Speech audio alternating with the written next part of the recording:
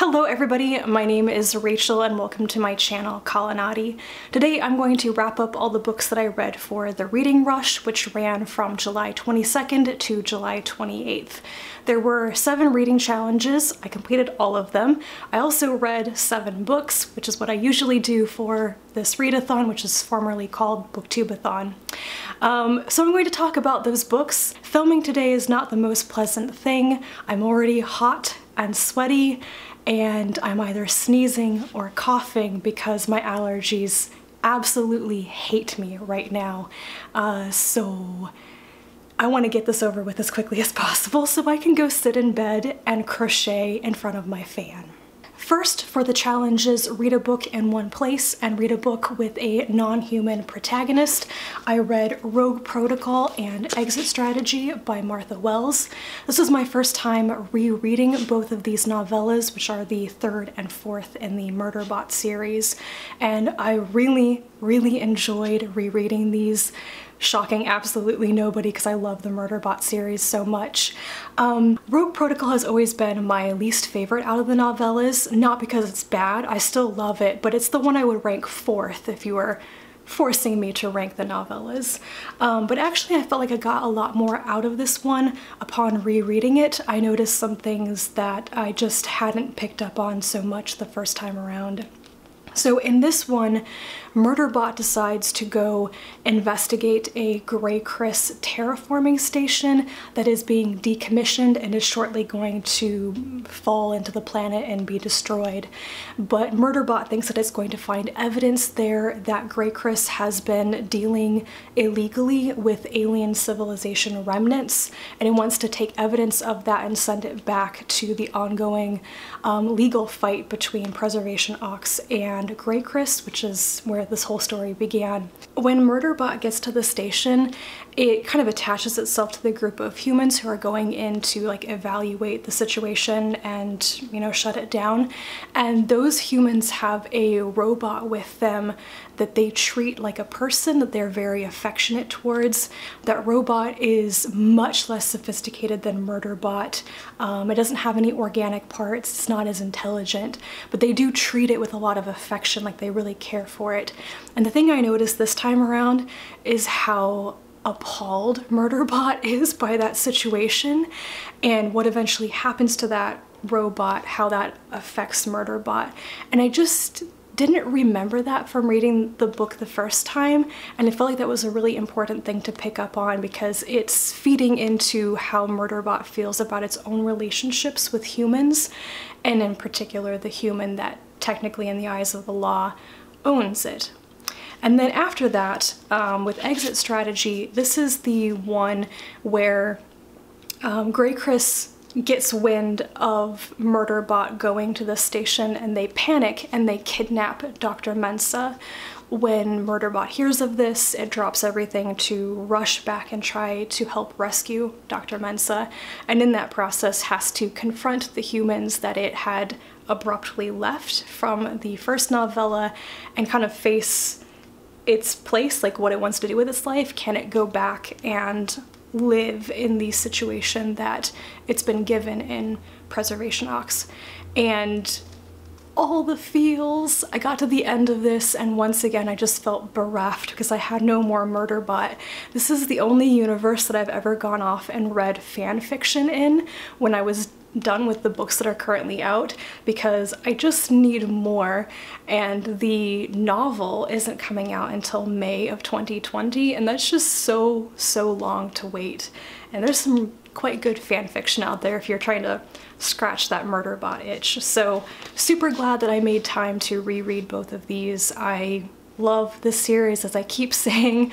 I really feel for Murderbot um, I really sympathize with its feelings of anxiety and not necessarily knowing what it wants to be or what it wants to do with its life. Just, that's, it's such a great character. I'm so glad that Martha Wells had this idea. I'm talking about these books in kind of random order, not in the order in which I read them because can't remember the order in which I read them. Um, so I think that I'm going to continue with the other books that I reread because four of the seven books that I read were rereads actually. So the one big disappointment of the readathon for me was rereading The Beginning Place by Ursula K. Le Guin. I have finally read something by Le Guin that I did not like. This is not her best work. it's not her best novel, and I did not enjoy it. Um, it's still written well, just on the prose level, it has that magic of Le Guin's writing. She's just so masterful, but character-wise, plot-wise, with the world building, this was a huge disappointment. The entire thing felt kind of hateful, depressed, and blurrily confusing. So it's the story of a man and a woman who independently discover this place that they call the beginning place, which is a kind of gateway into another world. So it's kind of a contemporary fantasy because most of it is set in like 1980 America, which is when the book was published. Um, and then the world that they go to is a more historical feel and time runs very differently in that like little pocket universe type of thing. Um, both of these people, the woman who's been going to this place for years and then the man who has just discovered it, um, see this place as an escape. They both have really horrible, claustrophobic, suffocating lives at home with their families.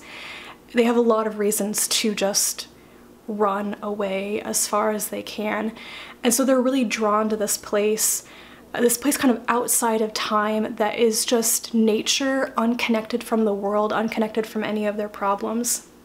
But when they encounter each other, they just immediately don't like each other. The woman in particular is really hateful towards the man. I think it's pretty easy to see why she's riled up about him because he's a stranger. He's he's the person who has walked into her sanctuary basically. It's it's her place but he's taking it away from her. That's kind of how she sees it. But I don't think that is excused or explained necessarily all of her behavior towards him. She's just immediately really nasty to him when she thinks about him when she talks to him. And I was really bothered by that.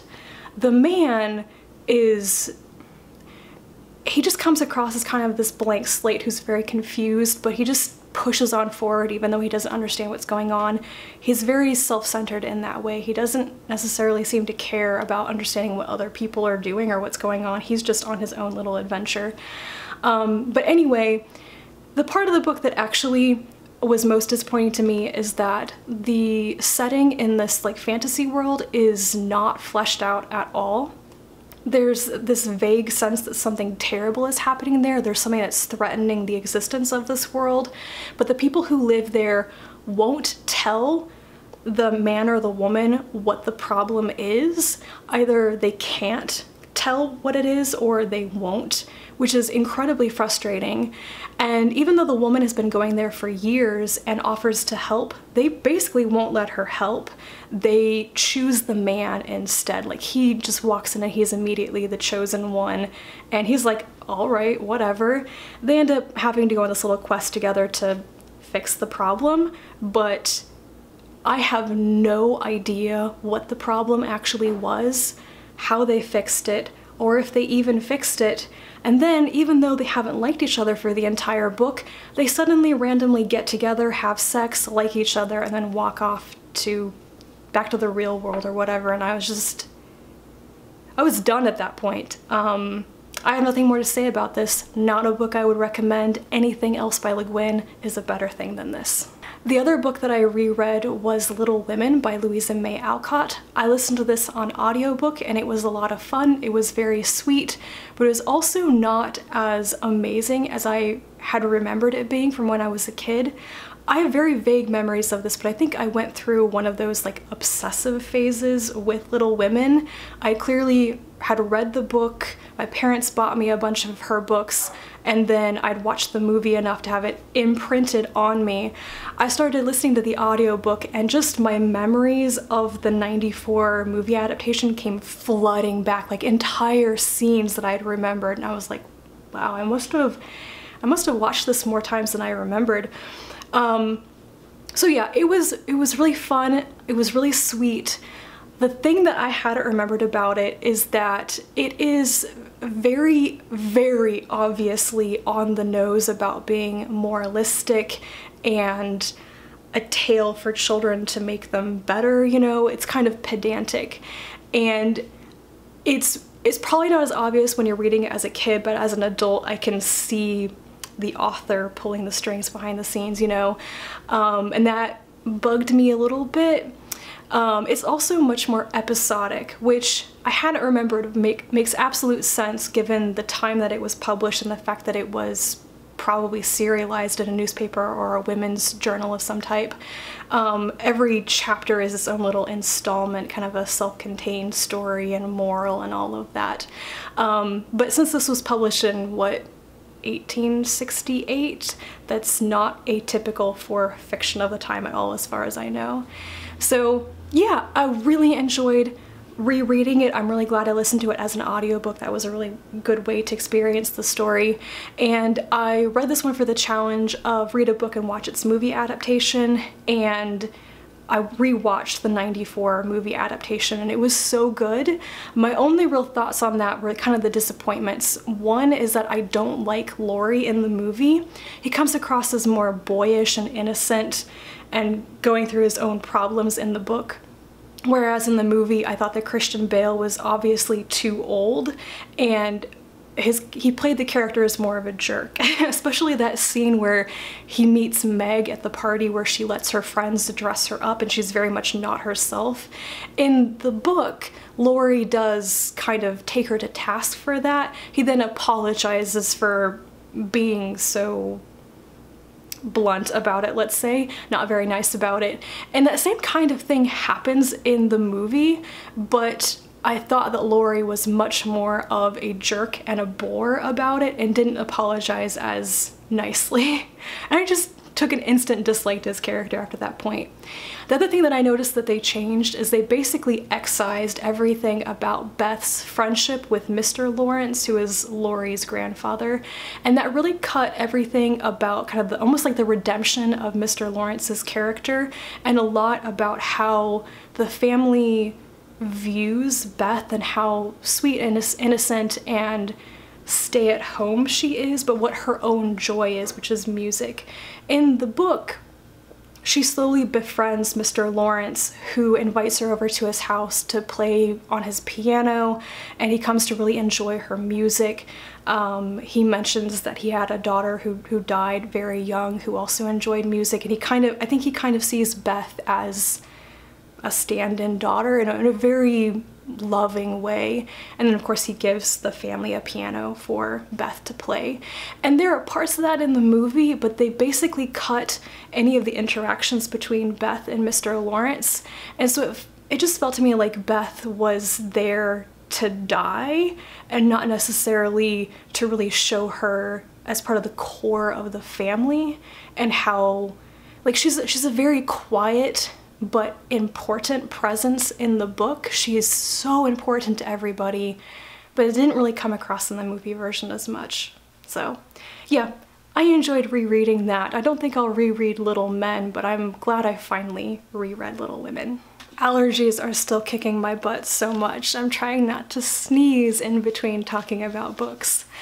For the challenge of read a book with purple on the cover, I read Luna Wolf Moon by Ian McDonald. This is the second book in the Luna series, which is about um, the Corta family on the moon. There are five major families that control most of the politics and economic industries on the moon in this. Um, the Cortas are basically at war with the Mackenzie family. In the first book, New Moon, um, that rivalry um, came to a head and the Mackenzies attacked the Cortas. It was very catastrophic and lots of people died. And it follows the surviving members of the Corta family, many of whom are children of the major characters from the first book actually, so some of them are very young. Um, and it basically follows them like where did they end up how are they surviving where did they go to ground or who is held hostage by which families basically and how they're dealing with this and if any of them have plans to fight back and try to regain the power that the Corta family had before. The one who is most intent on reclaiming their former status is Luca. He's the only character who actually isn't on the moon anymore. So to go into too much detail would probably be lots of spoilers, but I thought that the atmosphere and the intensity, the setting of this book was just as good as the first one. Um, McDonald is so good at description, at bringing the feeling of a place alive and just the way that he describes the settings on the moon and everything. It's fantastic. Um, however, this started to really fail me in terms of character development and there was something at the end that I was just infuriated by, which is not about the story itself, but about the way that I think McDonald chose to write the story. So I'll address the characters first. There are many characters in this series, and I don't remember from the first book thinking that they were done poorly. Um, but I, I just think that the story was so rushed that it kind of just whipped on past telling you who these people were and how they were developing. Um, I don't know. It just didn't work for me very well. And I think maybe part of my problem with it is that these characters are all very isolated from each other and they don't particularly like each other or have friendships. So even though they all belong to the Corta family, they aren't really necessarily loyal to each other or attempting to help each other. And I find that very disappointing for any story about family where the family doesn't actually care about each other as individuals, but more so is only loyal to the idea of the family as a whole. That really bothers me, especially when children are involved. And like I said, some of the characters in this, some of the surviving people are very young and all their, their relatives are dead, their parents are dead and stuff. Um, so I got to the end and just thought that I didn't know any of these people any better and I didn't necessarily feel like everything they had been through was really changing them as people either. But the thing that really ended up making me rate this three stars instead of four stars like I wanted to is that um, all the characters have their own point of view in their storylines, all of them, all the survivors, including Luca Corta but there is something from his storyline that I think that McDonald intentionally withholds from you in order to make some events of the book more shocking to keep you from guessing what's going on. And it just seemed so weird to me because if you just taken out all of Luca's storyline entirely, that would have made much more sense to me. He's the one character who isn't on the moon, so it could easily have been written as just the people who are on the moon and they, they already think he's dead, um, and then bring his storyline in in the third and final book to really hammer home what's been going on. But instead, it's like the author chooses to make you think that you know what Luca's been doing and then comes in at the very end and says, nope, I've been withholding all this information from you so you couldn't guess. And I, it just really bugged me. I was so irritated by that, perhaps more than I should have been. So I didn't like that so much. Um, definitely New Moon was a better book in my opinion, but I'm still excited to read the third and final book. I really, really want to know what the conclusion of all of this is. The other two books that I read for the readathon though were really good and I really enjoyed them.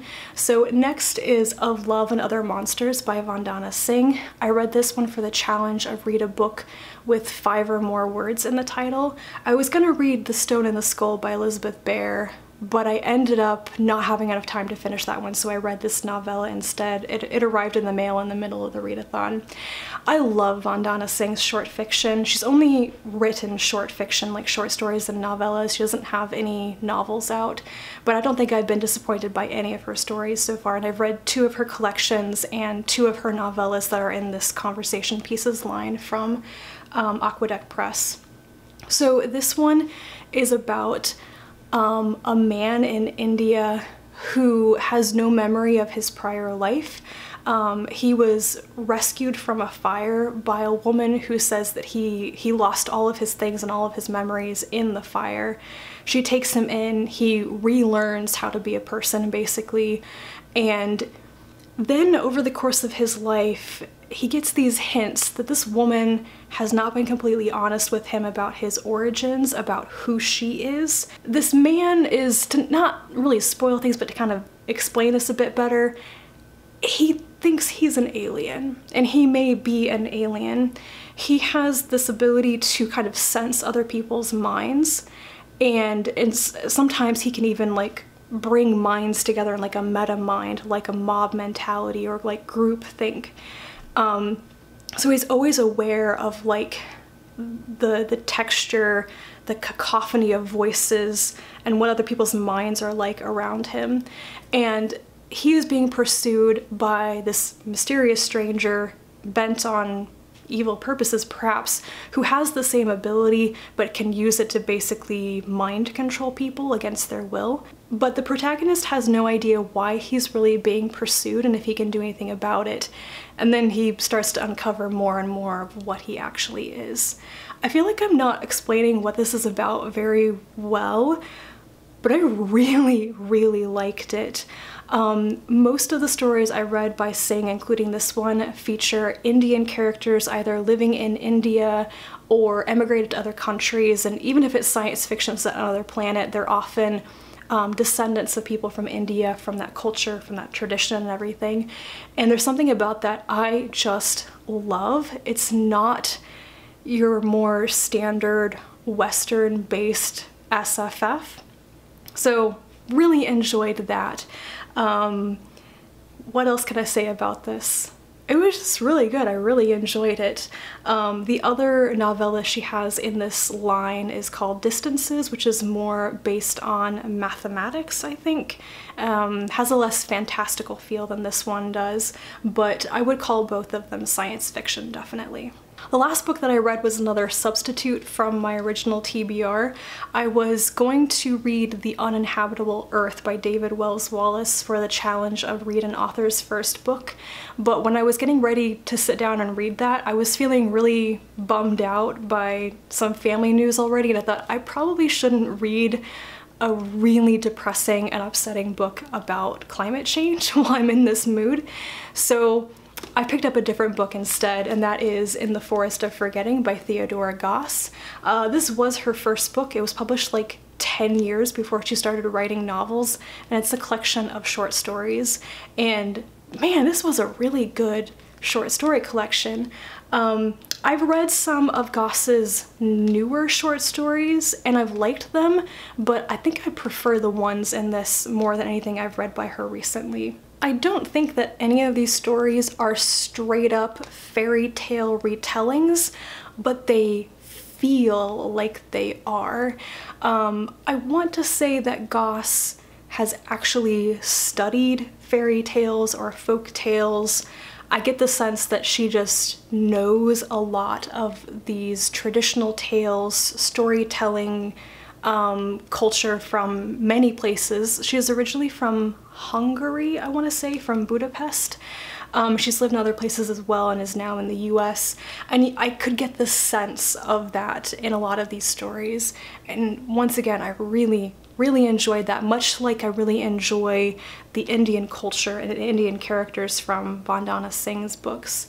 Um, but they really did feel like almost modern fairy tales. I didn't mark any of the ones that I particularly liked, so let's see if I can remember. Miss Emily Gray was one that I really liked. Um, one of those that has a great ending to it. Um, be careful what you wish for, basically. Um, yeah, I'm just looking at this list and thinking, I liked all of these. I can't remember any of these not being good, actually. And so yeah, every everything in this was really interesting, really good, and I read it very quickly because it was so engrossing. So I'm very glad that I read this, and I'm really happy that I just stumbled across an actual like original hardcover edition of this at a used bookstore last year, I think. Um, I was stunned to actually see a copy of it because I think that it's out of print or this edition of it is relatively rare, so it was good stuff. At some point I'll actually read her novels, but I haven't gotten around to that yet. As is pretty typical for me with this particular readathon in past years, um, I didn't necessarily read any five-star new to me books. I mean like I, I love the Murderbot novellas but I read them before um, but it's a good way for me to get some more things off of my physical TBR, get through some books pretty quickly and don't know, I, I enjoy that. I enjoy the intensity of the week-long readathon where I read like one book per day. So I'm going to stop talking now. I'm gonna go see if I have any more cough drops left in the house and go sit in front of that fan. Let me know if you've read any of these books, if you have any thoughts on them. Leave me some comments down below because I would love to hear from you. Thank you very much for watching and until next time, bye.